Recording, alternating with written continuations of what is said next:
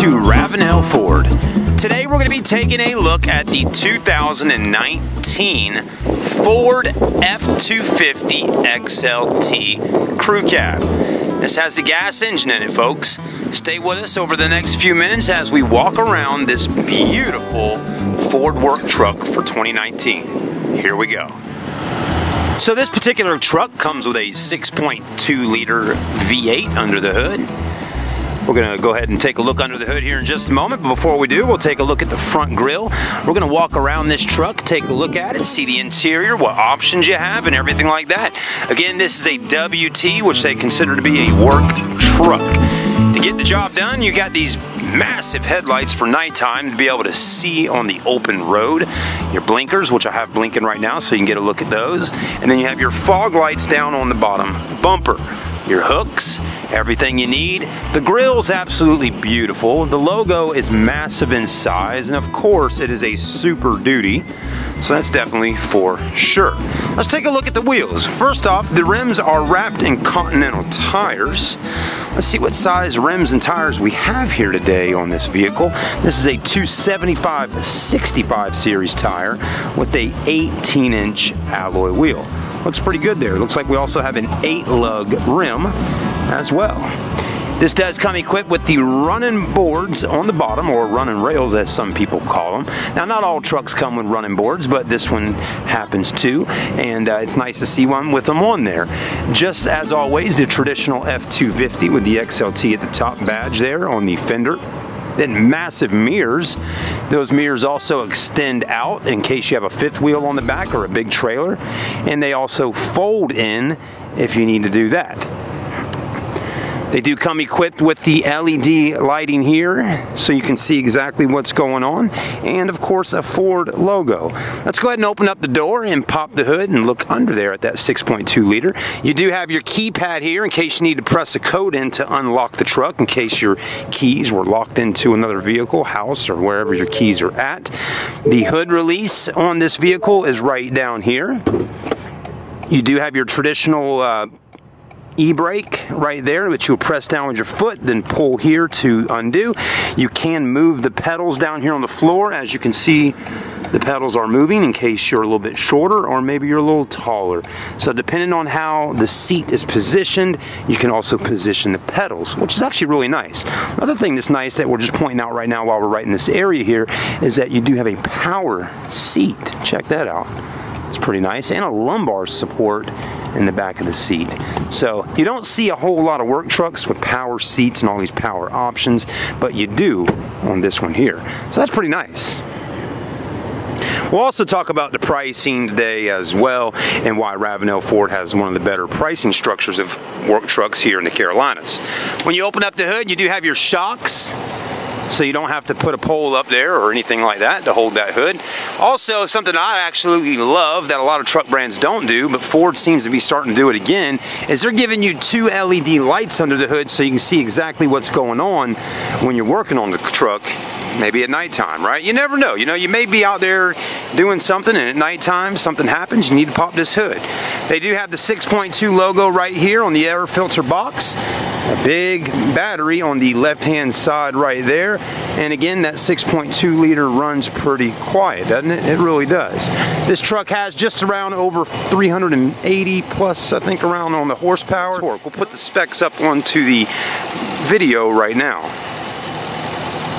you also see here this is your uh, your radiator fluid. And definitely a bright color, isn't it? Kind of a neon color going on there, which is really kind of interesting to see. I like how Ford has made these tanks kind of clear so you can see how clean the fluids are and all that. You can even see this fluid over here, this one back here for power steering, and then powered by Ford. That's a big motor up under there, isn't it? It really is, that 6.2 liter. So that's nice. That also is nice to have too under the hood because it sound deadens from the inside so you don't hear the motor as much and if you get in an accident and let's just say God forbid the engine catches on fire that is supposedly to help dampen out the fire. So dampen the sound, dampen the fire, right? Yeah. Let's hope that never happens to you while driving your Ford Super Duty F-250 XLT, but things do happen in life that we don't expect. It definitely is a long truck, isn't it? It really is. This is one of the first 2019s we've had come in. We do have several other work trucks over there as well, and I believe we have a few more 2019s that are very similar to this one right here. Crew cab is definitely the way to go. Big, it's four door, it gets everybody in to get the job done. Nice big long bed in the back. The rear of the truck looks great. The taillights are just as big as the headlights, aren't they? Nice and tall. Your exhaust pipe is going to come out on the rear passenger side. Tow package down on the bottom.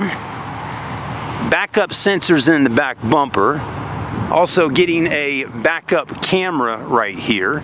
As long as the truck is unlocked, this should just drop down, just like so. If you need to get into the back of the truck, there's actually a ladder system or a step system as some say. You press that button there, this pops out like that. A little bit of grip tape there on that step. You can grab here, pull this, do that, and check it out. You got a easy way and a safe way to get in the back of the truck to get the job done. I've loved this feature. I really have. There's not another truck brand around that has something like that. I love the bed liner. You got your third brake lights up here. You got some also some lighting right here to shine in the back of the truck. You got rear tinted windows. You know, we did a video last week with this truck against the Chevrolet work truck, and the Chevy didn't have tinted windows. So it's nice to see that the Ford does. A lot of nice hookups back here to store things. And then I love that you got these LED lights in the back to see at nighttime. I mean, is that not nice? You got one here, one over there. It's easy to find the button.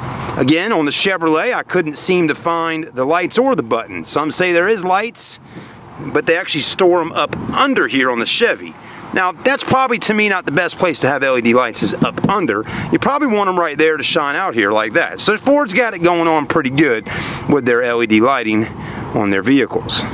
If you want to get out, pretty simple. Just grab the pole and do what you did to get in. If you want to put it back up, hit that button there. Well, actually hit the number one. a little tough to do with one hand, but do that. Do that. Press that back in. Take this, grab there, like that. It's done. It's easy. And it doesn't really weigh that much. I mean, again, I did it all with one hand, with my other hand on a camera. So, that's the back and another Super Duty logo, right? I mean, you just can't get enough Super Duty logos on your Ford truck. You do have lighting back here, no LED, just regular halogens, but lights there, lights there, hookups, light hookups and all that kind of stuff for your trailers. So you got brake lights and all that kind of thing, because you got to have those things, folks. If you don't, it's only going to take a minute for the lawman to see you and give you a ticket for not having lighting on that trailer. Oh, there's another Super Duty right there. So you got one on the hood, one on the tailgate, and now you got one right here on both sides. There's that. This is a gas motor. If it was diesel, you have your AdBlue fluid that would go in right there. Let's go ahead and look at the price for a moment. So retail price on this particular truck is $48,170. Ravenel Ford discount 2502. 98 over invoice is 45668. There's a rebate of a thousand or 500. There's that. Easy price 45168. And if you finance with Ford Motor Credit, there's another $500 to save right there. Vehicle, this vehicle has no ADP, added dealer profit sticker, such as unnecessary rust proofing, paint sealant, undercoating, closing or doc fees, etc. Such items are used to mislead customers, giving more markup to selling dealer. Beware, okay?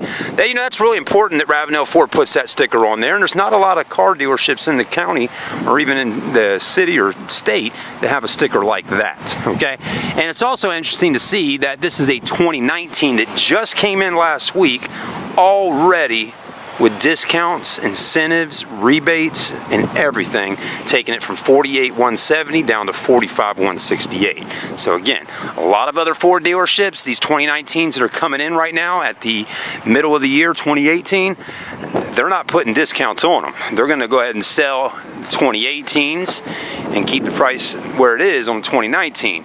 But Ravenel Ford is going to give you what you want. So that's always nice to see. Now the interior of this vehicle, you're getting power windows, power door locks, power mirrors, lots of cubby hole spots. Like I said earlier, power seat and a lumbar. You get your gray cloth. Good looking seat, really comfortable. Plenty of headroom up top as you can see. You got your rubber steering wheel here. You got cruise control, audio functions, voice commands, and all that. Let's go ahead and hop in and sit down and see what else we have inside this truck where it's nice and cool. AC is already blowing nice and cold. We're gonna go ahead and cut off our blinkers for a moment. Now, right here looks good, right? You got your speedometer and your tachometer. Tach over here on the left, speedometer on the right, and then you got a nice LCD screen right through the middle. Already can tell you got your uh, tire tire pressure monitoring system popping up. These over here, just hit the middle button for OK. But check that out. Beautiful display on that screen. A lot of different things going on. Trip, towing, off-road, settings. Okay, just to get a little look today at what we got going on. Off-road. Look at that. Check that out. Pretty sweet, right? Yeah, not bad. Towing. All right. So all kinds of nice features. Trip and fuel. There's that. Display mode. There you go switch through those different options. Mile per hour tires all that. So 153 miles on the truck right now. So anyways we'll leave it right here on mile per hour. You got a handle here to help you get in or get out. Up top there's your mirror. Right there pretty decent sized mirror you have lots of auxiliaries. You have six of them in total. You have sunglass holders here. Your interior lights are LED. Okay. Very nice. Longevity. Don't have to worry about those light bulbs going out anytime soon with LED. You have storage up here. You have a center mount speaker right there for voice. If you listen to talk radio, your voice will come right through there, which is kind of cool. Anyways, center mount speaker is always nice to have. Big vents, you'll notice that. You get two big ones here, another big one here, and way over there. Another Super Duty. So that's one, two, three, four, five Super Duties. How about that? Brake gain, USB, climate controls, radio controls, center screen, okay? That's what you got. 12 volt, 110 volt, 400 watt max outlet right there, which is nice, and it's got that light on letting you know it's ready to go ahead and be having something plugged in. Another thing you got here, you can press this button and open that up for a little spot for some storage in there. And glove box right here pretty decent size and another little spot to store things there as well. And you can actually cut that passenger airbag off or on if you want to which is kind of cool. So well, not that it's cool but it's a good safety feature depending on what you got going on. The only time you usually want to cut that side curtain airbag off is if you got a child sitting in that seat that's 70 or 80 pounds, you know, or, or, or smaller, okay? Not that it you want to have a child sitting in the front seat, but again, if you got a small child that's 80 pounds or less in that seat, you do not want to get an accident and have an airbag hit them. It's extremely important that that airbag does not deploy and hit a child, okay? Take my word for it. Um, you do got a lot of storage here. Okay, we like to pull things around, show you stuff. As you can see, my Polar Pop cup sits just fine and dandy right there. Now you have four cup holders, if you needed it. That's going to hold those in there a little bit better. Okay, so pretty sweet. There's a lock right here if you want to lock your center console. Maybe you got a 9mm pistol in here, a Glock or something like that. You might want to lock this up. Maybe you got your wallet in there and a couple thousand dollars in there. You might want to lock that up. Or a checking book, credit cards, or whatever you got in there, jewelry, phones, whatever. You want to be able to lock that up if you need to, you can. You know, if your truck's sitting there at the job site all day, you never know. Somebody could be sniffing around and get in your truck and take something, right? And that's why you want to lock that up. Anyways, you can move that around like that. You can take it out if you don't want it in there. That is probably the most massive size junk drawer I've ever seen in a truck. It's big. There's a lot of storage. There's a 12 volt down there as well. There is no light in here, so you won't be able to see in there at nighttime. So you might want to cut on your LED light with your phone to do that. But anyway, it's sweet. Got a nice little grippy kind of feel to it, so things don't slide around too much. More cup holders right there as well. So, for, so far, this is a very nice truck. traction control off. It's got about everything you need. If you needed more storage spots, there's even more down there for pens, pencils, change, whatever you want to throw. You can hit that button there and close that up if you need to. It makes it look a little bit nicer.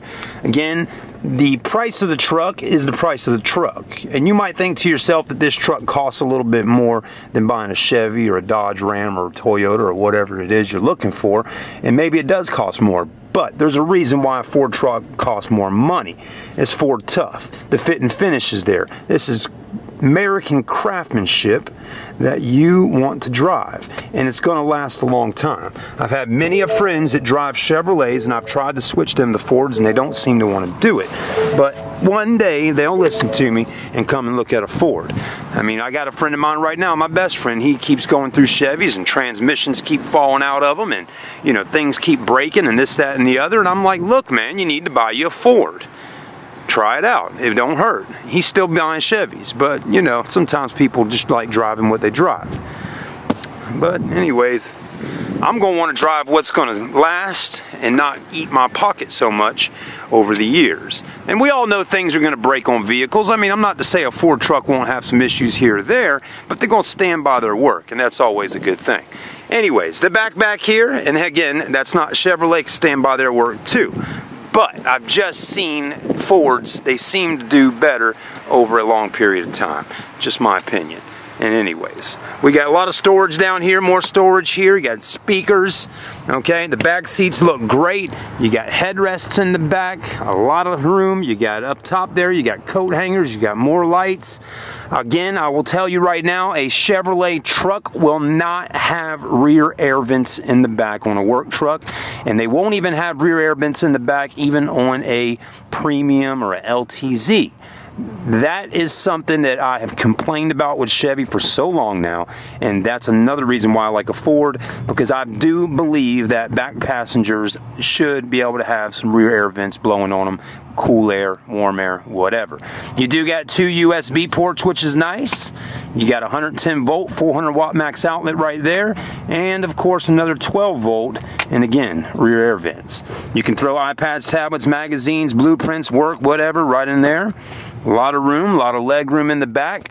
Another feature that you will not get on a Chevrolet is you probably won't get that many outlets in the back, that's for sure. And you will not get what I'm about to show you this is a great feature to have. You can take this thing right here and fold this down if you don't want to use this as a storage area, or you can do it like it is right now, and you can keep things back here. You could throw your shotgun back here if you're going hunting, golf balls, whatever, throw it back here and not worry about it sliding or going up under the seats or anything like that.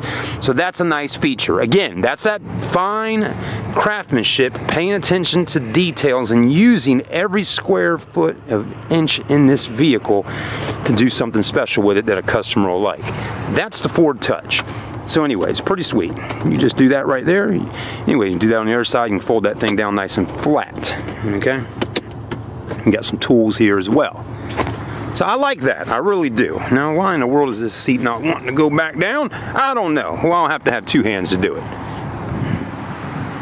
But that's solid, folks. That's your Ford for 2019. Now, you may say to yourself, well, there's not a whole lot of difference from a 2018 F-250 to a 2019. No, there's not. It's really, for the most part, the year. But I will tell you, it's new. It's 2019. It's still a beautiful truck. It's still meant to get the job done. It's still got plenty of towing capabilities. Head over to Ford.com, read up all about it, okay? You can get this available in a diesel. There's a lot of different trim levels and packages you can do on an F-250. Stay tuned with us, folks. The 2019 F-150s are right around the corner. F-350s, F-450s, F-550s. Whatever kind of Ford truck you want to look at, come on down and see us at Ravenel Ford. Remember, no dealer admin fees, no doc fees of any kind, no processing fees, no dealer add-ons.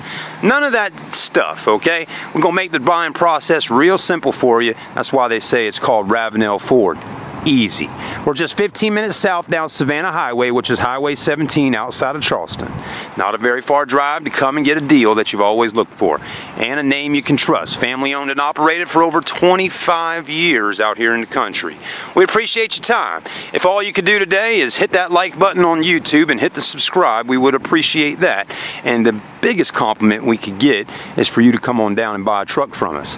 Thank you again. Have a great day. I'm Chad and I'm signing out.